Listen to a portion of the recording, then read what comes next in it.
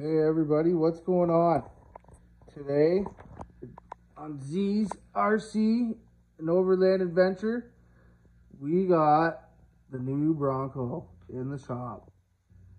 I said to you guys we were getting it, finally showed up there a week ago. Just haven't had time to really get to it. And I got the nice silver. That's the one I've been looking forward to. We're gonna unbox that today and we're gonna give you a rundown on what's been going on with the rigs. We've had some breakdowns and we've had some upgrades. Have a breakdown on this guy here. Me and my son were out running and the motor, the wires pulled out of the two pin plug. So that kind of sucks. So we gotta get those put back in. And then the Gladiator's done a big change since the videos that you've seen on there. We're running droop now. Right down to the bottom. Took the springs off. I got a lot more performance out of it.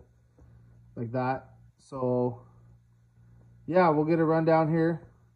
And uh, we'll get this thing opened up, boys. Let's see how it goes.